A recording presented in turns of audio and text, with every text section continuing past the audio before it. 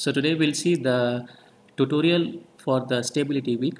So again the outline of this uh, tutorial is arranged in such a way so that whatever the theoretical results we have discussed during the whole week we will see the direct application of those uh, detailed results. Uh, in addition we have also written the slide number as well so that you can refer to the theoretical results while applying those results to solve some problems. So we will start with the solvability of Lyapunov equations, uh, and internal stability. Uh, questions related to the Lyapunov theory for linear systems.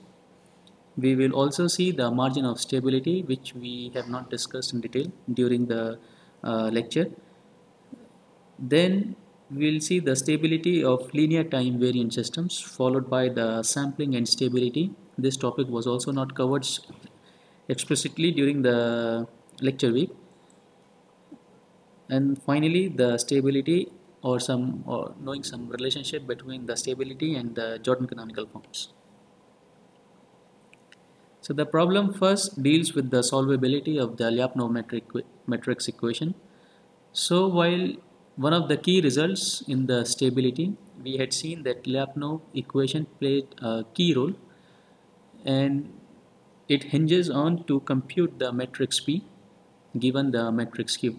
So here we will see that how you can compute that matrix. Uh, during the lecture slide we had seen one formula which requires the computing one integral. So if we do not want to compute the integral and we just want to com comment on the solvability of the of the equation or computing some P matrix for a given Q so this problem deals with that issue. So here we consider a linear system which is a homogeneous with the state matrix A 0 1 minus 1 0. So here we uh, need to comment on the solvability of the Lyapunov metric equation which is given by this one. Now note that here that here in the stability result concerning with the Lyapunov equation Q was chosen as a positive definite matrix now here we have chosen q as a semi-definite. So we'll see in the solution that uh, what is the significance of selecting the q as a, a semi-definite matrix. So here recall the lecture slide number 22 where for a square matrix of dimension n we and having the eigenvalues lambda 1 to lambda n uh, eigenvalues of A, then the equation has a unique solution of P corresponding to each Q. Now note that here Q is again selected as a positive definite. So in the slides we discussed or we focused mainly on the positive definite matrices. So corresponding to each Q, if and only if the eigenvalue of the matrix A is not equal to 0. In addition, the summation of the two distinct eigenvalues or in fact two similar eigenvalues should not be equal to 0 for all i comma j. So if you compute the eigenvalues of the matrix A directly you would see that uh, it is on the imaginary axis plus minus j so therefore the required condition is violated. So we can say that the Lyapunov equation which was given by this does not possess a unique solution for a given Q. Now we wanted to comment onto the solvability only for a semi-definite matrix but we had seen that if Q had been chosen as a positive definite matrix and if the eigenvalues are lying on the imaginary axis then it does not possess a unique solution now let's consider a case where Q is a semi-definite. So we directly select Q as a zero matrix and if we start solving the left hand side of this Lyapunov equation we would have A transpose P plus P into A. So all the matrices uh, A matrix and its transpose are written in or are substituted in the, into this equation and for computing the P matrix we have used uh, uh, symbolic variables p11 p12 and this p12 as well because it is a uh, symmetric matrix and p22 so substituting these values we obtain that we can compute the solution for p's which are given by p12 is equal to 0 and p11 is equal to p22 meaning to say there exists a solution for a semi-definite matrix. Now suppose uh, therefore for any a belonging to a set of real numbers the matrix p is equal to ai is the solution of the Lyapunov metric equation so the consequence of choosing q as a semi-definite matrix we see though it does not possess a unique solution because for different a's we will obtain different p. But being a semi-definite matrix we can ensure that there exists at least one solution. Okay. Now choosing q as a uh, strictly positive definite matrix uh, you would see once you start solving for all the pij's uh, you would see that we obtain P11 is equal to P22 and P12 is equal to 1 and P12 is equal to minus 1 which is not possible. So for Q is equal to 2y should be 2y. Hmm, the Lyapunov equation has no solution at all. Right? Uh, the problem 2 deals with that given a continuous time linear time invariant system where the A matrix is a square matrix of dimension 3 similarly the B matrix is 3 cross 1 and the C matrix is 1 cross 3 so again it is a single input single output system with initial conditions given as this. So so note that here that x3 is given in terms of the initial condition of the second state so we want to analyze the system uh, separately for the internal stability and also for the Bibo stability.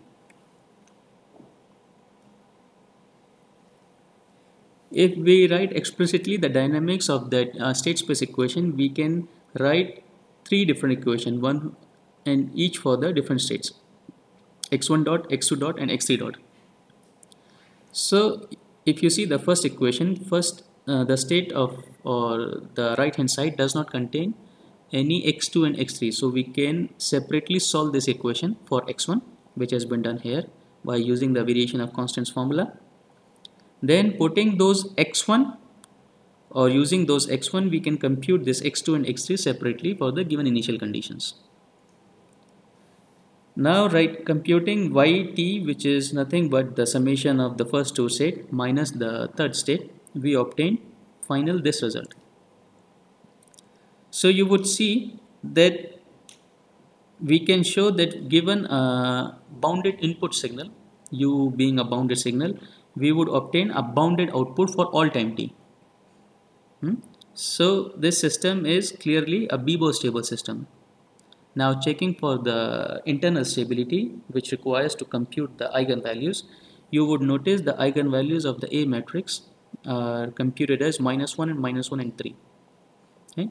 So it is clearly visible that because of one of the eigenvalues being on the right hand side, the state space system is not at all stable in the sense of Lyapunov as one of the definitions we had introduced during the lecture week. Now one important uh, conclusion we also made uh, during the lecture week while discussing the relationship between the Bibo stability and the Lyapunov stability whether the both ways implication holds that if my system is Bibo stable does it imply that it would be internal stable?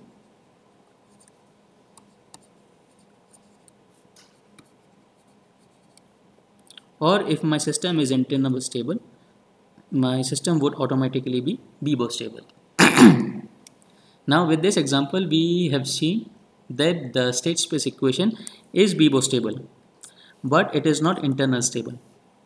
So this implication would hold true while this implication won't hold so which is a false.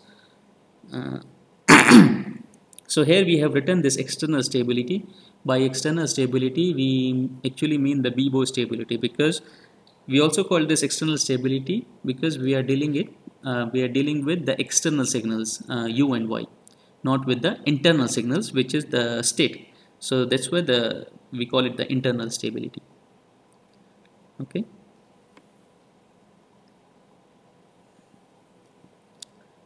The problem 3 deals with that assume that the origin of the system which is a homogeneous system given the state matrix A is asymptotically stable. So we know that all the eigenvalues of this matrix lie on the left hand side.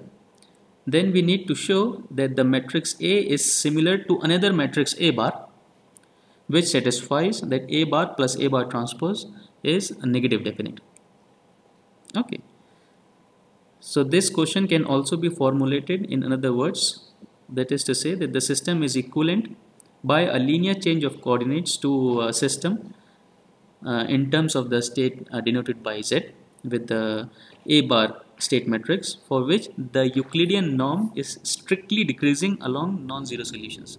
So if you recall that the Euclidean norm it is equivalent to computing the two norm of the matrix or the vector. Okay, so let's see the solution to this problem. So here you should recall the slide number 30 which discusses the Lyapunov theory of stability for linear systems. So recall that since the matrix is A it's Hurwitz, saying the matrix A being Hurwitz, meaning that all the eigenvalues are on the left hand side. So there exists a positive definite solution to this equation given a positive definite matrix Q. Okay. Now this Q can be selected any positive definite matrix. So we have selected that I. So there exists any P which is again symmetric and positive definite satisfy this equation. Okay. Since the matrix is already uh, a stable matrix, so the Lyapunov equation would hold for the given Q and P. Now once we have computed the P matrix, we can define another positive definite matrix, let's say S, such that S square is equal to P.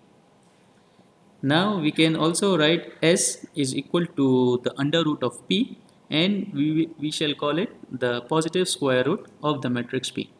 Why the positive square root? Because we know that if whenever we are taking the square root of any a positive number, so the square root could be either on the positive side or on the negative side.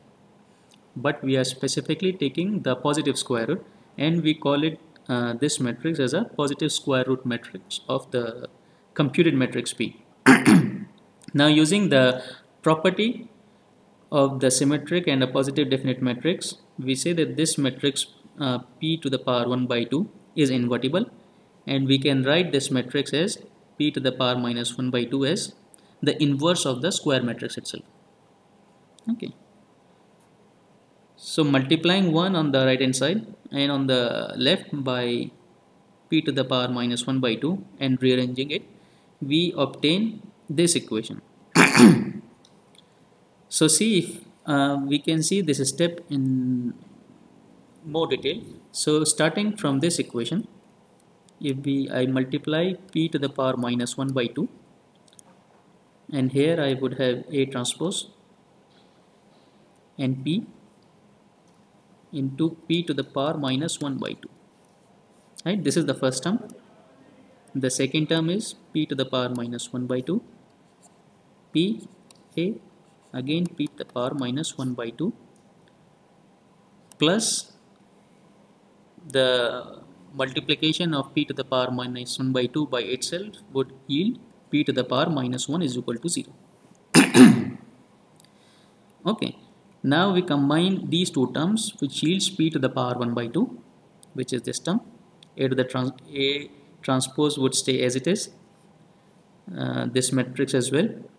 Now on the second term we would have the p to the power 1 by 2 A matrix and this matrix would stay as it is. Now we take this P inverse onto the right hand side, writing minus P inverse. Okay. So we note here that since P is a positive definite matrix, its inverse would also be positive definite. So the right hand side would definitely be a negative definite matrix because of the uh, negative sign. Now with A bar defining as uh, this complete part, we see that A is similar to A bar and A bar plus A transpose is less than 0. In fact, you can see that the A bar is nothing but uh, similarity algebraically equivalent to this matrix A. which is related by uh, non-singular transformation matrix p to the power 1 by 2 okay so this completes the proof of this part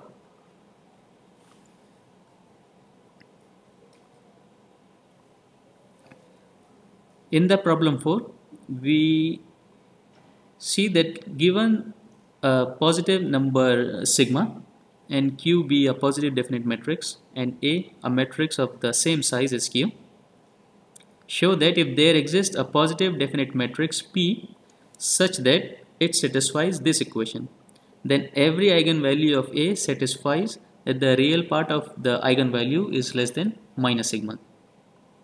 So you would notice here that if this part is not there then this equation is nothing but uh, Lyapunov equation. Now, now and we know that for a given positive definite matrix Q if there exists a positive definite matrix P then the A matrix would be a stable matrix. That is to say that all the eigenvalues would be on the left hand side if this part is not there okay. Now with the addition of this part what we need to show now or what it implies that the eigenvalues of the A matrix are also shifted towards the left hand side. Okay or let's say the in fact the the axis the zero axis is shifted to the uh, left hand side. So the results which we discussed in the lecture slide 30 by using those results we would going to show that the axis has been also shifted towards to the left hand side by adding this term into the uh, Lyapunov equation. So here we would going to use the uh, the quadratic forms and the metric norms which we have introduced during the lecture week. So let lambda be a possibly complex eigenvalue of the matrix A and V be the corresponding eigenvector right so we know already that for uh, associated to the eigenvalue a the eigenvector we can represent as ab is equal to lambda times v where v is the eigenvector associated with the lambda. Now using the equation we write the quadratic form which is v star. V star is the complex conjugate of the vector v and this complete matrix which is on the left hand side in 2v. Now we know that this equation already holds so I can write on the right hand side also minus v star qv. Now using one of the so if I write this part only we would have v star a transpose p. Now another way of writing this part or or in fact I forgot this one so we would have this part also if I open this uh, bracket. So specifically this part I can write as the complex conjugate transpose of the metric of the vector a into v hmm? you can see this equalization uh, transiting from this part to this part. The rest of the part would remain same. Plus uh, v star pa into v. Plus uh, I can because sigma is a scalar so I can commute with the vector. So I write 2 sigma v star p into v which is equal to the right hand side as it is. Now using this equation since it is a complex conjugate transpose it would become the complex conjugate of the of the lambda as well. Lambda bar uh, v star pv similarly av could also be replaced by this lambda v again lambda is a scalar so I can commute. So we would have v star pv and similarly onto the third term. Now if I take the common part which is v star pv onto the right hand side and group all these scalar values which is lambda bar plus lambda plus 2 sigma. Right? So what do we need for this matrix to be stable? That the right hand side of the above should also be negative definite now this would be become negative definite if this scalar is less than 0 is on the left hand side. Now if I combine this lambda bar plus lambda it becomes twice the real part of lambda because lambda bar is a complex conjugate transpose of in fact the complex conjugate of the lambda only. So I would have that lambda should be less than uh, minus sigma. And since lambda was an arbitrary eigenvalue of A, so this is uh, O, then every eigenvalue lambda of A must satisfy that lambda should be less than minus sigma. Okay, so this completes the proof of this part. So one important conclusion you should uh, note here that if we add this term into the Lyapunov equation, the key implication is that all the eigenvalues of A would also be shifted to or would also be shifted towards to the left hand side of that uh, scalar parameter introduced in the Lyapunov equation. Okay.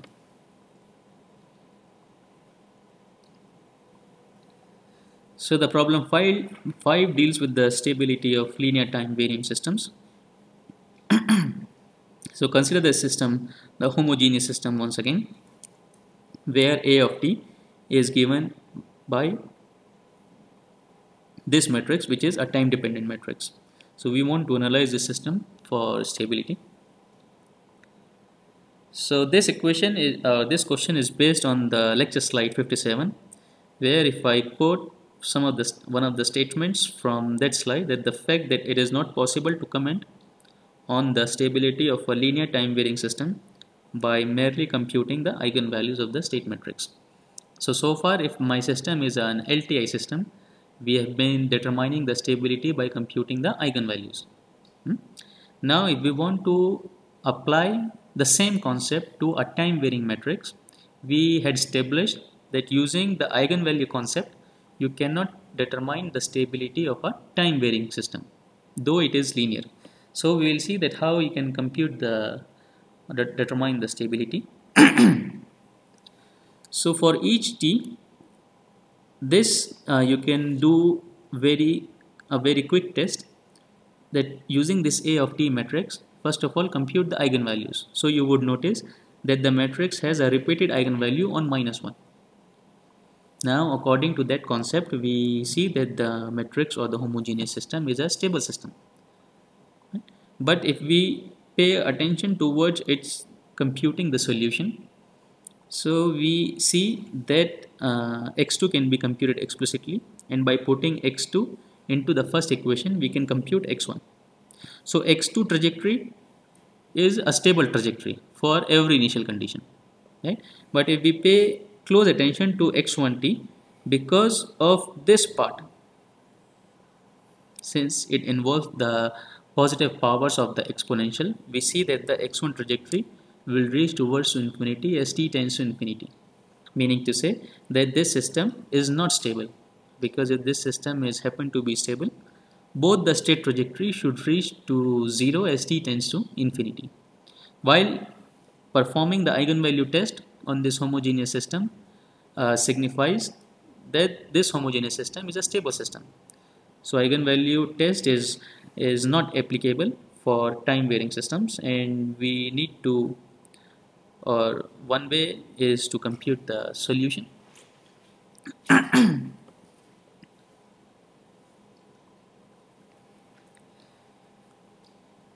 so this problem is an interesting problem where we would utilize some concepts which we the discretization concept we have introduced in the week one that we want to compare or first of all we want to determine the stability of the LTI system given this A matrix and we want to compare the stability once the system is discretized. Now we had separate test for determining the stability given a continuous time system and a discrete time system. Now the problem here is that we are provided with a continuous time system.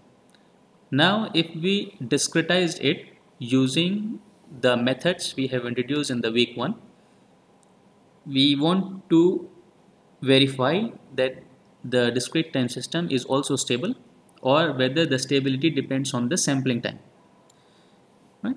So here first of all we will so there were two methods we have uh, introduced for the discretization. First is the Euler's method and the, where we have approximated uh, this derivative part by that method another method is when we consider the signal u as a piecewise constant signal between the two sampling instant and then we computed another discretization form of the uh, continuous time system.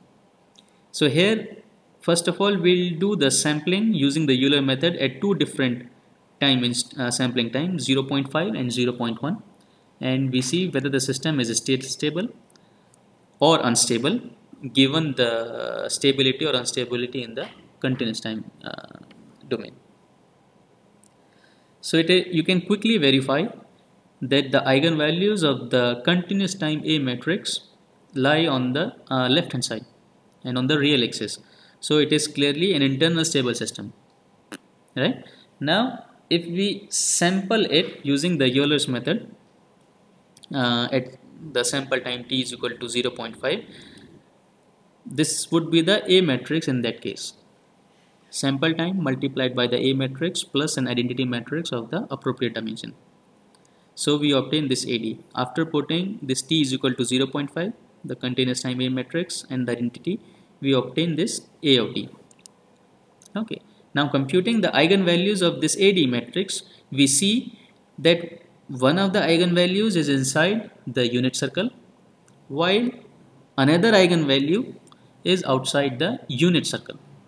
So if I sample my continuous time system at 0.5 we notice that the system is no longer a stable system in the discrete time domain. Now verifying at t is equal to 0.1 uh, we see this AD matrix and computing the eigenvalues, we notice that both the eigenvalues are in fact inside the unit circle. So at one sample time t is equal to 0.1, it is a stable matrix or it is a still a stable system. For another sample time, which is a, a bit on the higher side, we see that the system is no longer a, a stable system. And you can also parameterize the stability in terms of the sample time by solving this uh, last equation in terms of t and determining the condition on the t. So we see that for all positive sampling time less than 0.53 the discrete time counterpart of the continuous time uh, system would always be stable Right? This is what we have noticed that once we have chosen capital T is equal to 0.5 which is greater than this value then the system becomes an unstable system. Right? So now if we use another method of discretization that is the second method which is equivalent to computing the discretized uh, system by using the C to D command in the MATLAB which is the continuous to discrete uh, time domain discretization. So you will notice that that state matrix, whatever the state matrix we would obtain, it would be stable for all the sample time. Hmm? So this method, so one of the consequences or one of the motivation behind using another method of discretization is that the Euler method is uh, the least accurate result, uh, provides the least accurate discretization discretized system. And this is also visible in determining the stability also. So this uh, condition provides a very conservative estimate of the sampling time now for the more accurate discretized method which is equivalent to the C to D command we say that the or you would notice that the state matrix is always a stable matrix okay So this is the last problem of this uh, tutorial. So we want to comment on the stability of the system x dot is equal to ax where A is given by this 5 cross 5 matrix. So here we would uh, utilize the theoretical results we had discussed onto the slide number 53 and 54 which basically discuss the relationship between the stability, the Jordan forms and the minimal polynomial. So if you recall that uh, we had defined the or we have obtained one of the results of st for stability that if the eigenvalues are on the left hand side and if some of the eigenvalues are on the imaginary axis or the origin and corresponding to those eigenvalues which have the zero real part if the Jordan blocks are of 1 cross 1 then the system is marginally stable. So first of all we will compute the eigenvalues uh, of this matrix then convert them into uh, another canonical form which is called the Jordan forms and we'll see that whether if there are some eigenvalues on the having the zero real part if all the Jordan blocks are of 1 cross 1 then the system is stable. If it is not then the system won't be a marginally stable. Equivalently we have also defined in terms of computing the minimal polynomial which is basically computing the roots of a polynomial of a degree lesser than the characteristic polynomial if possible. And there are some properties which needs to be satisfied for uh, minimal for the polynomial being the minimal polynomial. So first of all we will compute the eigenvalues. The eigenvalues of this A matrix uh, we have the repeated eigenvalues at the origin and the another eigenvalues on minus 1 okay. So for computing the Jordan form, you can use this MATLAB command, uh, which is uh, given by its own name, Jordan, and by the given matrix A. So this J matrix you would obtain. Now if you notice here, we have four repeated eigenvalues at the origin and one eigenvalue at minus 1 so start from so first of all we'll start from the or we'll form the jordan blocks so the first block is this one which is corresponding to three repeated eigenvalues at 0. Another Jordan block is with respect to minus 1 and the last Jordan block is with respect to the fourth eigenvalue at 0. So here we notice that at the repeated eigenvalues at the origin we have a Jordan block of 3 cross 3. So this system is not a marginally stable system. Okay. Now computing the uh, minimal polynomial first we write the characteristic polynomial s to the power 4 s plus 1 is equal to 0 so from here you would see directly we would obtain the repeated eigenvalues at located at 0 and another eigenvalue at minus 1 now with the procedures introduced into the lecture slides we compute the eigenvalues uh, uh, sorry the minimal polynomial and the minimal and the polynomial which is minimal and satisfy all the properties we had introduced at that time is given by s cube into s plus 1.